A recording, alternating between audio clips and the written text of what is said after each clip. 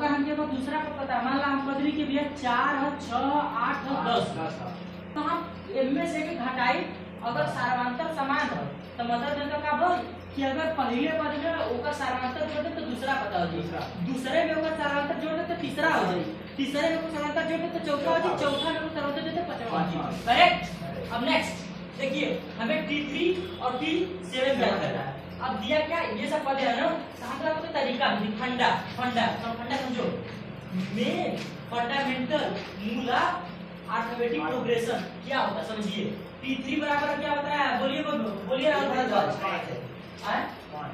अरे T T3 बराबर में क्या होगा? A plus 2D.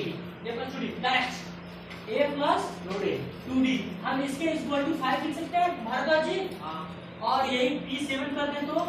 A plus 6B is equal to 9 कर दें अब हम इसको इक्वेशन नंबर एक इक्वेशन नंबर टू बना दे भारद्वाज जी। उसके बाद हम इसको यहाँ पर बड़ा चिन्ह लगा दे भारद्वाज जी। उसके बाद यहाँ यहाँ यहाँ माइनस लगा दे। इसके बाद इसको काट दे। उसके बाद क्या करें कि अगर चाहे चार डिग्री दे बराबर माइनस चार और इस वक्त माइनस से माइनस माइनस से माइनस कैंसिल करके डी बराबर वन लिख दे भारद्वाज जी। अब डी का मान डी का मान समीकरण एक में प्रतिस्थापित प्रतिस्थापित करने पर, न? तो ए का मान ए प्लस वन टू गुणे एक बराबर पाँच। तो ए बराबर पाँच माइनस दो ए बराबर पाँच माइनस दो ए बराबर तीन।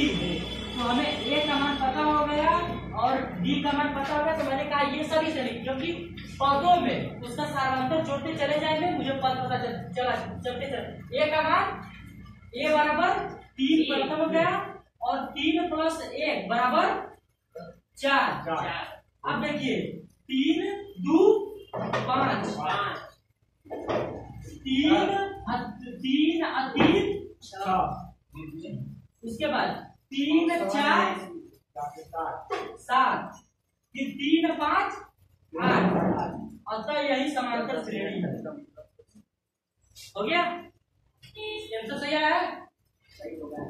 मिलाइए आंसर से।